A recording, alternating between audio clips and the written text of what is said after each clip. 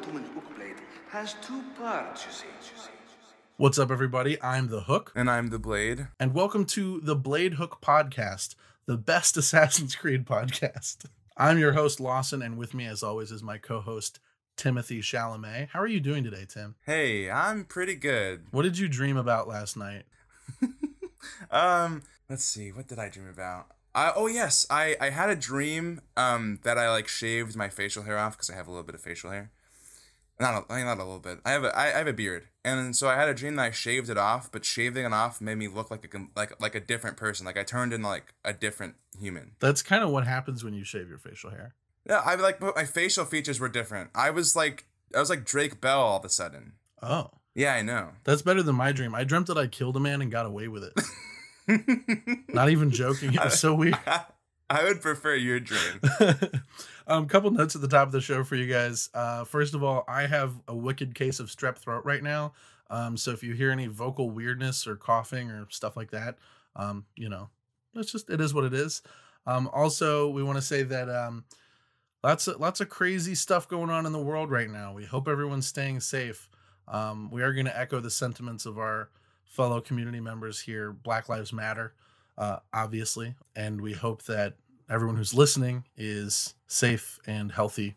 We're kicking off this episode with our recurring segment, the Valhalla News Roundup. And we actually have a huge surprise for you guys because joining us for this segment in our first ever interview on the podcast is none other than the lead writer of Assassin's Creed Valhalla. Lord and Savior of the Assassin's Creed franchise, Darby McDevitt. First off, Darby, thank you so much for joining us. Thank you for taking the time to ask us questions. We wanted to ask you, why does Eivor have the hidden blade on the outer part of the wrist? It, it is a deliberate decision when he or she uh, gets a hold of this hidden blade. It occurs to Eivor that it would be much more interesting to let people see this weapon, to be conspicuous about it. Uh, Vikings were known. That's really interesting. Thank you. You've said on Twitter that there's a specific narrative reason behind why Eivor can be either male or female. And obviously, you know, we don't want you to spoil anything, but can you give us like a tiny hint towards what that might be? I feel like Assassin's Creed is kind of almost a, a, the new Doctor Who. What would you say attracts you most to the time period and setting of Valhalla? Oftentimes, people would not be punished for murder. There have been rumors that uh, Desmond is not really dead, but just trapped in the Animus and could make an appearance in Valhalla. Would you like to, to comment on that or tease anything? He is inside the Animus.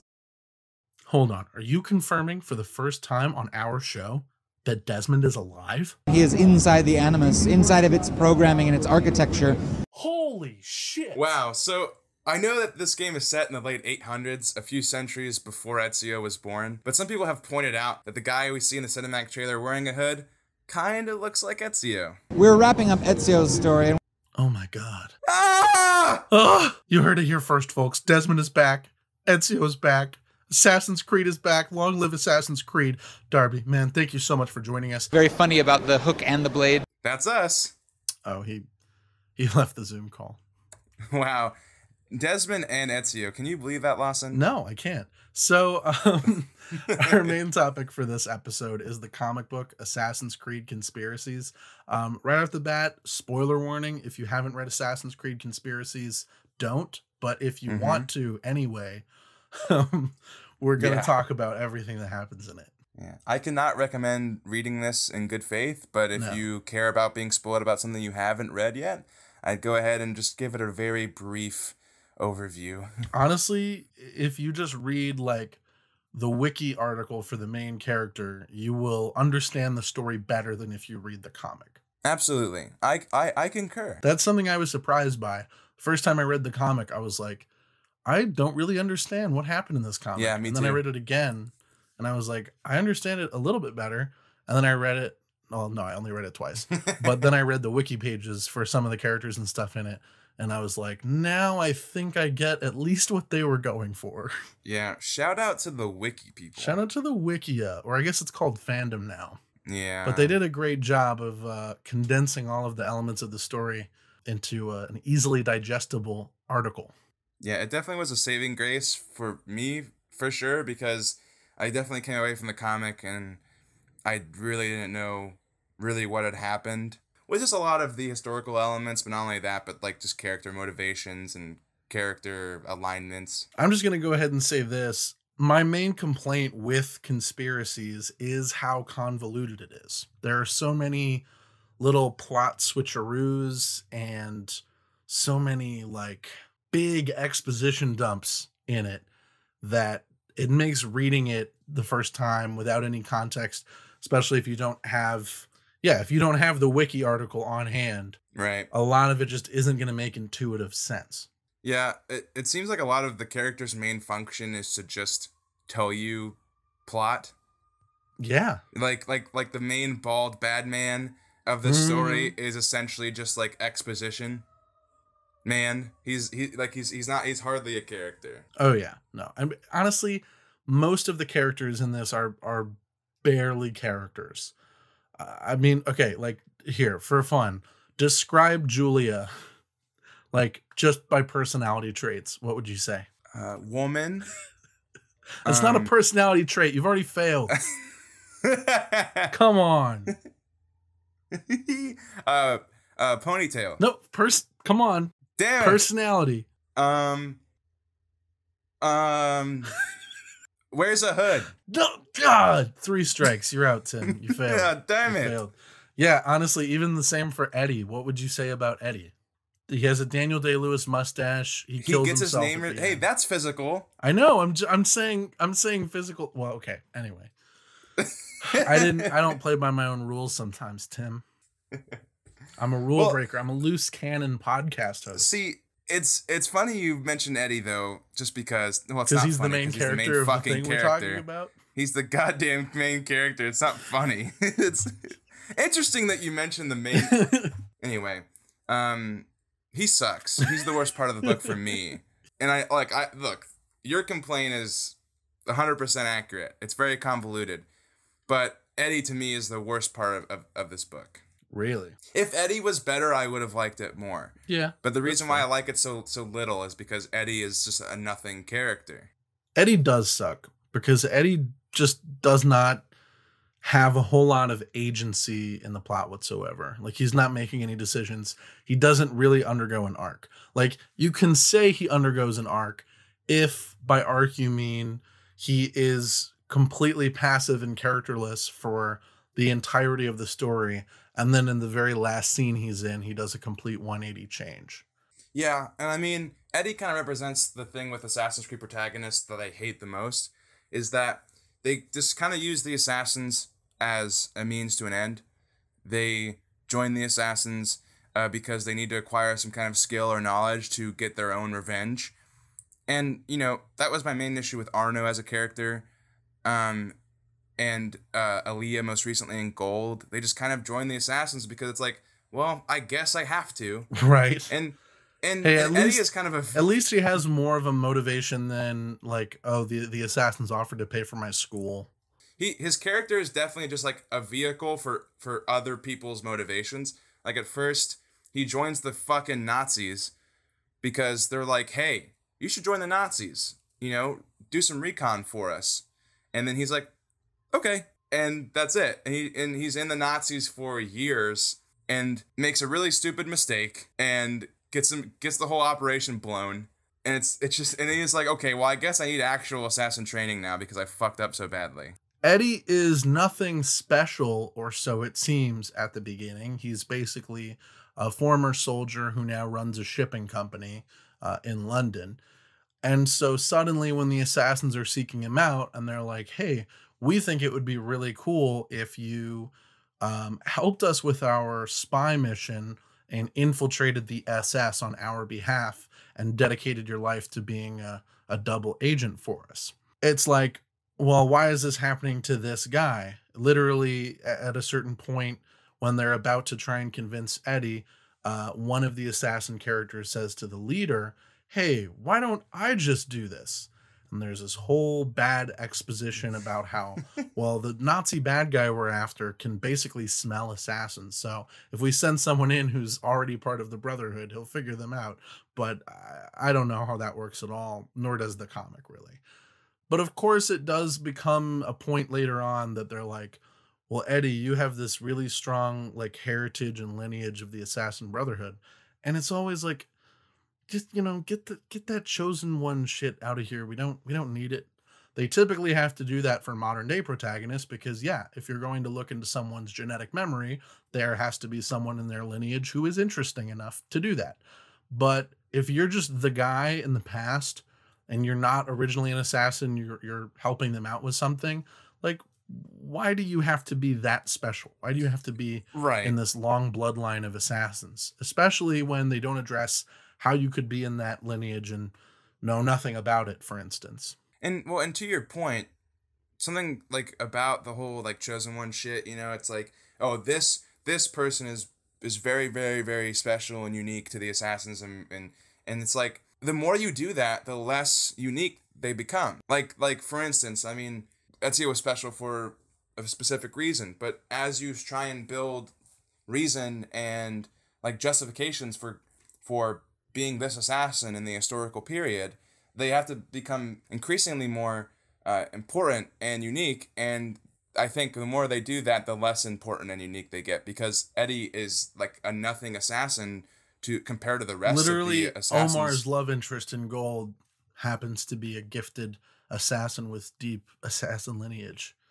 You know, just if every character in all of our stories is going to be a chosen one, nobody's a chosen one. Right. And I and you you uh were saying to me how you really want like an like an well not how you really want, but you think yeah. it could be interesting that an assassin protagonist is just like he doesn't have this like famous bloodline or anything. He's just kind of a normal dude Or she. who's who's an assassin or she, normal dude or dudette Or neither. that could be an assassin and and at, and at this point i agree with you because i just i don't think every historical character needs to be like the missing piece to everything you know? And eddie is apparently like he has this very special lineage that he knows nothing about as you mentioned. And honestly, like fascinatingly enough, the only thing that it accomplishes on a storytelling level, mechanically, to have Eddie be a, a chosen one, quote unquote, with a, a rich assassin bloodline in this story, is that it justifies a very cheap and flimsy and unnecessary plot twist, which is this idea that all of the circumstances that they use to get Eddie on their side and to get Eddie into their system doing their work is because he has this important role to play. This is really complicated, and I'm going to try and explain it as best and as concisely as I can. But considering the comic couldn't do that, I'm not sure I'll do the best job either. Eddie is recruited by American assassin spies. Um, he is told by them to infiltrate the SS. He does so. It turns out that okay, the assassins and the Templars are working together. So where the Templars Right. have power over the Axis, the assassins have power over the Allies. So they're basically playing racquetball with Eddie because they need him for this thing. And all of the story circumstances that put Eddie in the position that he's in are pretty much designed from the beginning to get him there.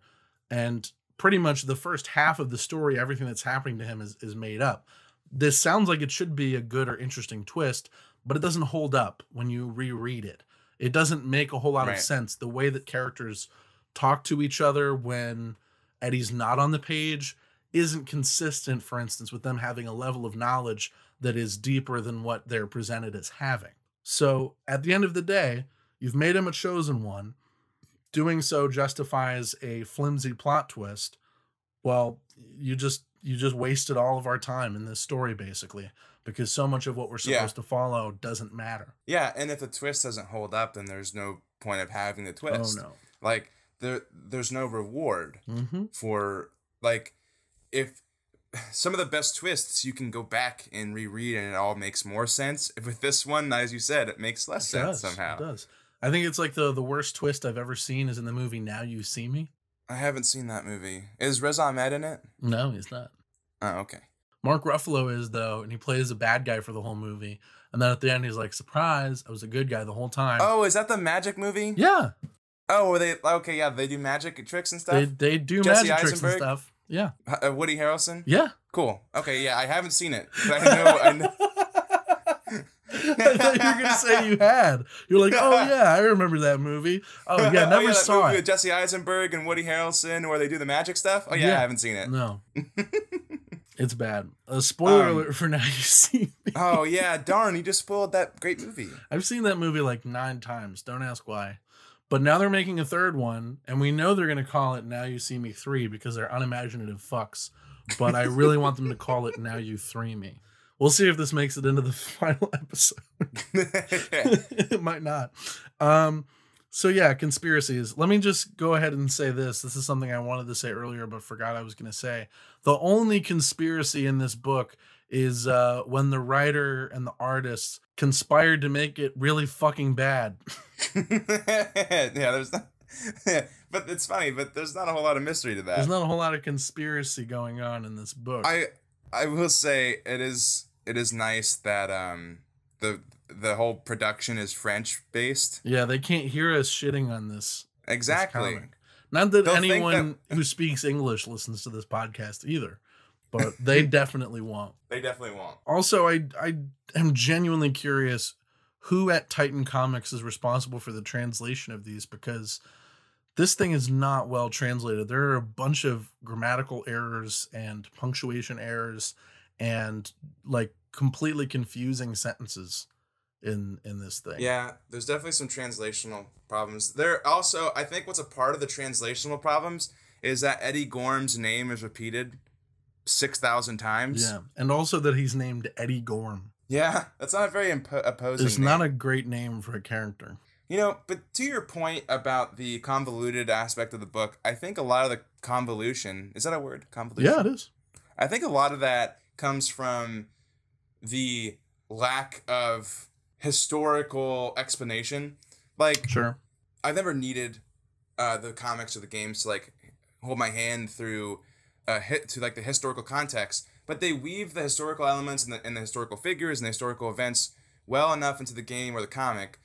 Uh, you know, Assassin's Creed 2 taught me so much about the Renaissance, which I didn't know before, and this what we read recently, The Fall.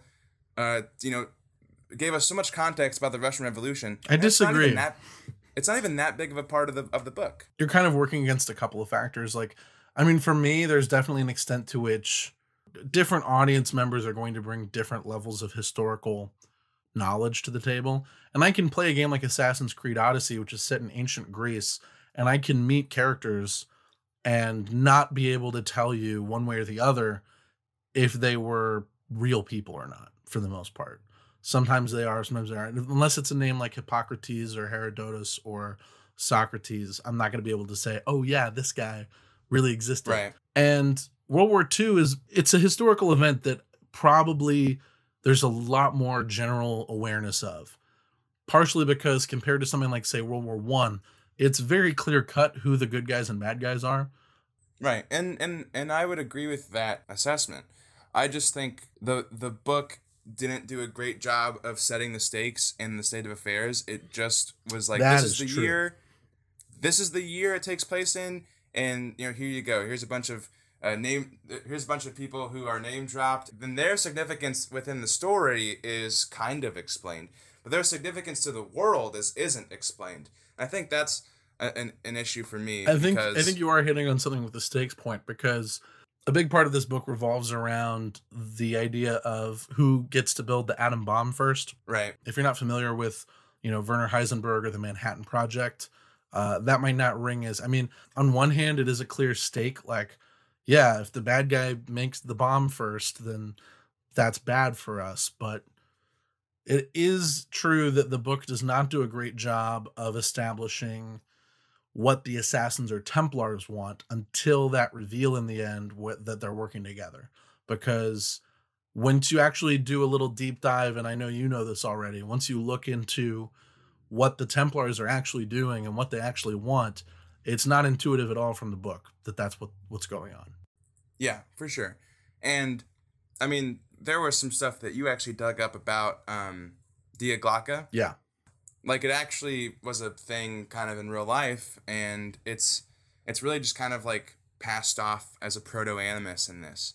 Yeah, um, for people who aren't familiar, um, first of all, in the comic book, the first half of, of conspiracies revolves around the idea that instead of focusing on developing an atom bomb, the Germans instead created a cover story uh, of the atom bomb under which they developed a super weapon or Wunderwaffe called Die Glocke. And there's a real life conspiracy theory, or really more of a hoax, that there was a German super weapon called Die Glocke, called Right. such because that's German for the bell, and it's a bell shaped super weapon. Yeah, it's shaped like a bell. And they do take that inspiration and, and use it in the comic in kind of an interesting way. But when you find out that this German super weapon is essentially a proto animus, it's like, what is really the value of this to Germany or to the Templars? I mean, yeah, their their whole deal is they always want to find pieces of Eden. And just like any other animus in any other time, this is going to help them find pieces of Eden but it's not like there's say a particular piece of eden that would help them turn tide of the war or anything more specific uh, other than boy wouldn't it be great if we found more pieces of eden? Let's build a chair that helps us find them. Right. And it also kind of dig it also kind of makes this kind of a wrinkle where if if Boris was aware of this proto animus boris by the way then- being the leader of the assassins in the book who recruits eddie sorry go on Right. The the the Gary Oldman looking man. If he is aware of this proto animus, right? Like cuz he had to have been and he was. So, how did he let something so powerful like stay within the Templars over time until we get the actual animus, you know? well that's one of the fun delightful complete inconsistencies of the book no. Yeah, and I mean the it's just I just I, I just I hate so much that like I don't know. Boris's plan just this really sucks too. He- Yeah. He, really doesn't keep Eddie. He doesn't keep Eddie on a short leash. I don't think Mhm. he doesn't keep him on a short enough leash if he's really trying to use utilize Eddie in this way. And I just like for instance that scene when Boris is opening up the like the hidden uh, assassin layer and shows everyone. It's like I was like yes, dope. yeah that was cool. and cool we see none of it. And we see none of it because the creed doesn't matter. Like that's the thing. And I I hate Assassin's Creed stories that are absent of the creed, and this is one of them. It's so absent of it, and it's absent of it to the to the point where Eddie doesn't like give a fuck. He gives a fuck before he kills himself all of a sudden.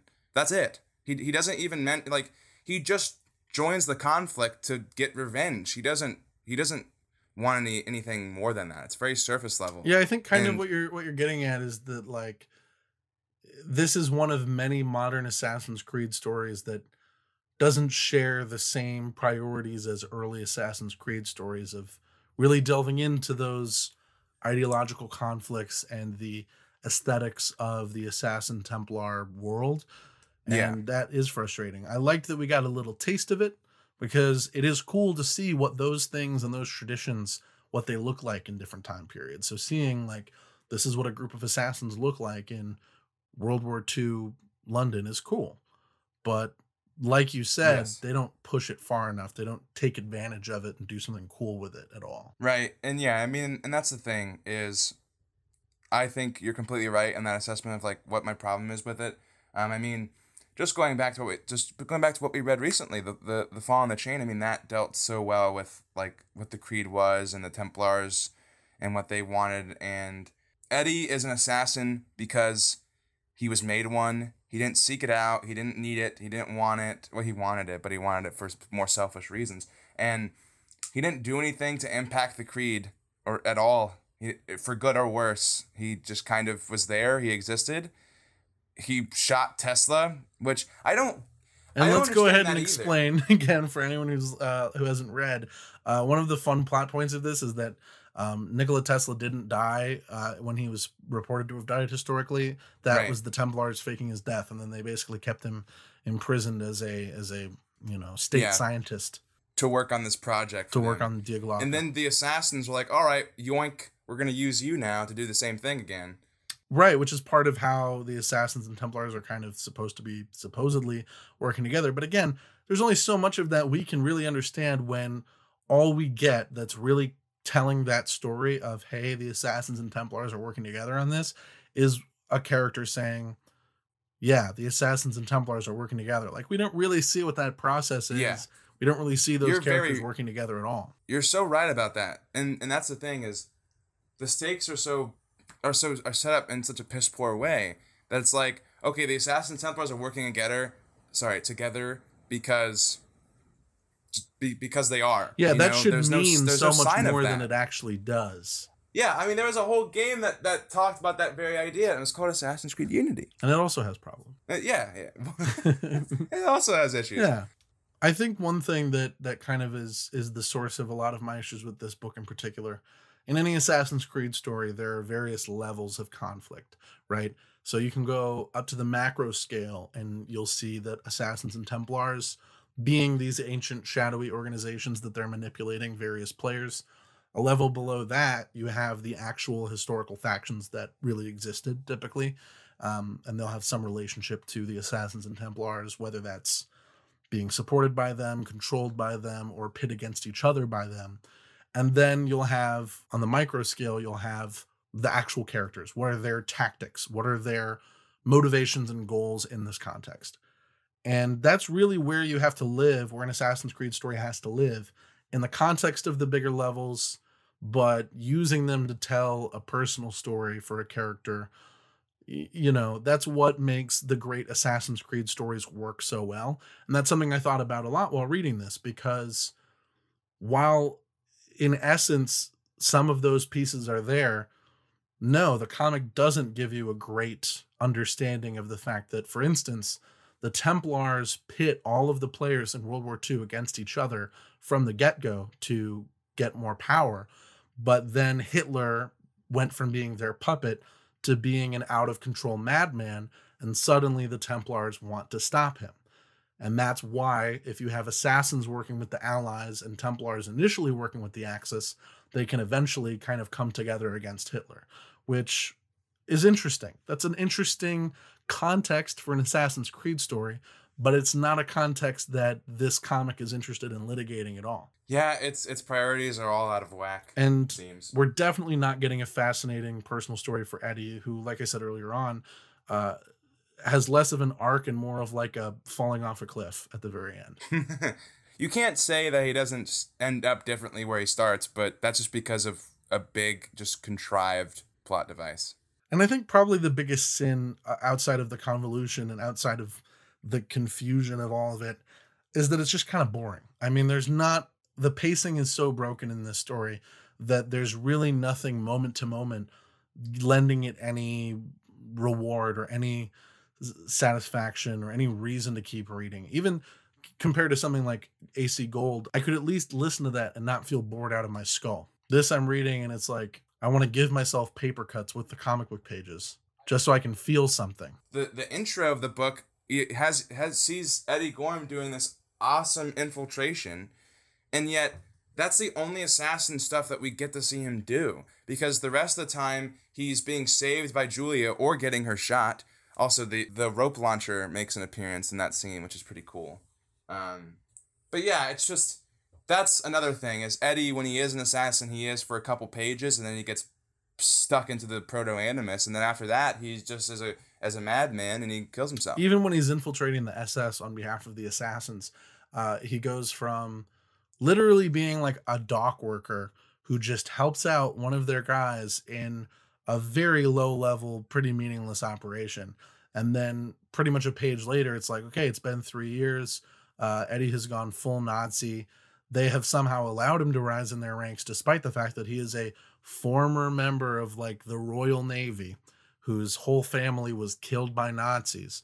And then you have the bad guy being like, you know, uh, Hammerstein, what's his name, says you're his best man, his best guy. And it's like, show, don't tell, is really all I can say to that. Show us why he's worthy to you, show us why he's skilled or talented Yes. or capable of anything, rather than just having a bunch of scenes where he talks to people where they're like, wow, Eddie, you're so cool. You're so fucking good at this, Yeah. Eddie. Yeah, and it's like, and and they try and show you how he's such a cool assassin by killing a couple guards, and it's just like, that's all we see. Otherwise, he fucks everything up. You know, it's like this book likes to tell you a bunch of things why Eddie is a good soldier, why Eddie's a good assassin, why Eddie has this knowledge of the Assassins and Templars, but they don't show it. And I want to say it could have benefited from being longer, but I want to say it's like equal length to the to the Fall and the Chain, and it does so much less with with its runtime or its page time. I And something say, else I you noticed, know? it has a similar scope too. Like I want to default, I want to default conspiracies for aiming so big in terms of trying to have this multi-year story and trying to have all of these twists and turns. But the Fall and the Chain completely does all of that. But Yes. because it is a lot more thoughtful about the pacing, about the rhythm. I also want to talk about, and normally I don't have that many opinions about art, but there's generally like nothing going on in the background of these comic book panels. They're so lifeless and detailless. So much of the story is being conveyed through the text bubbles, through the dialogue, almost as if you could read this book without any illustrations and it would still make as little sense as it currently makes.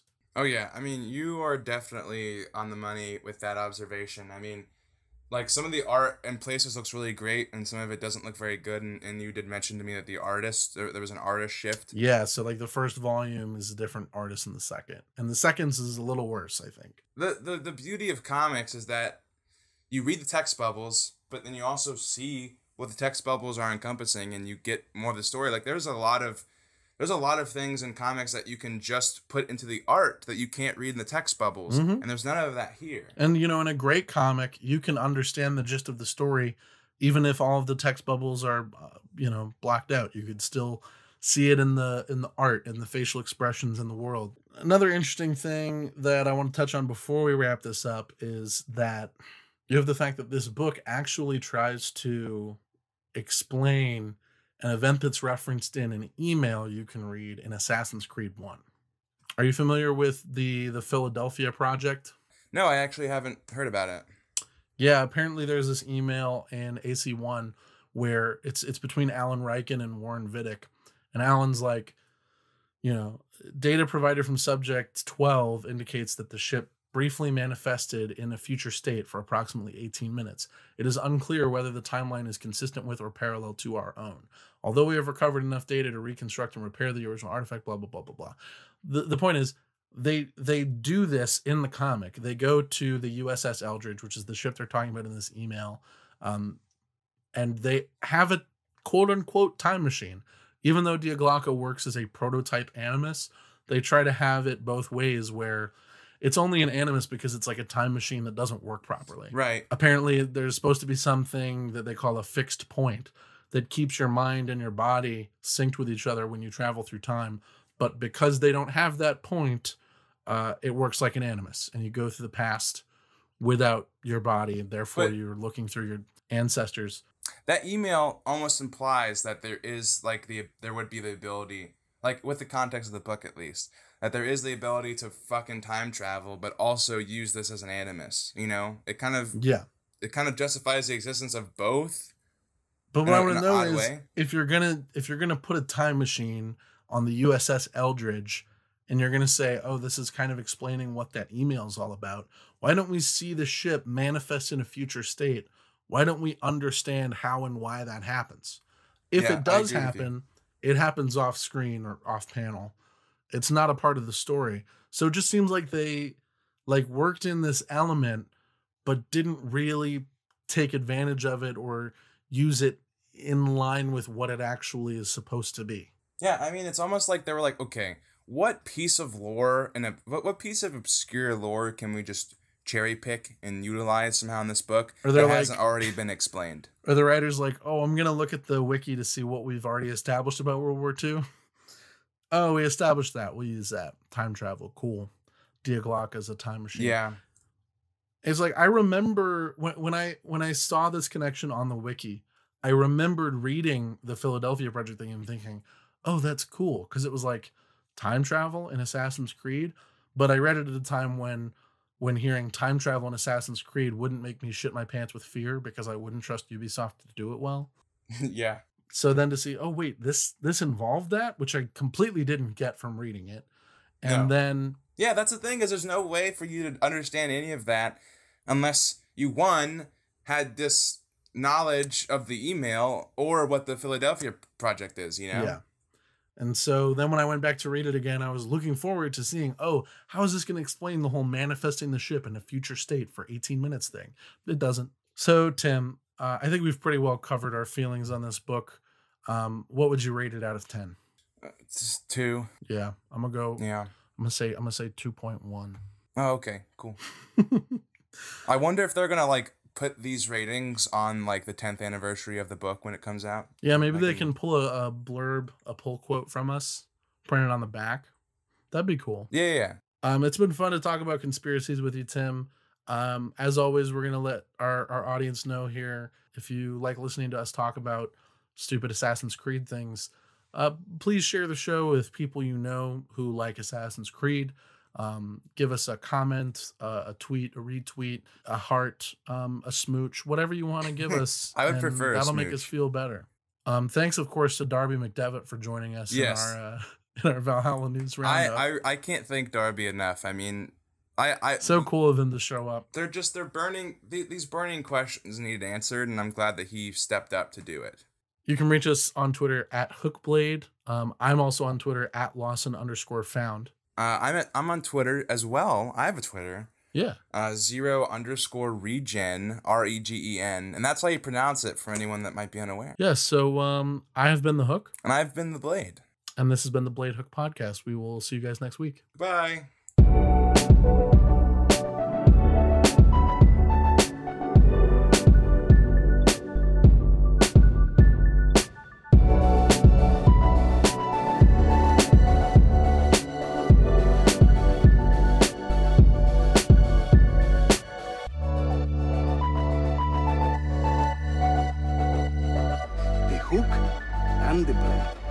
Can use one or the other, the other, the other. Very funny about the hook and the blade.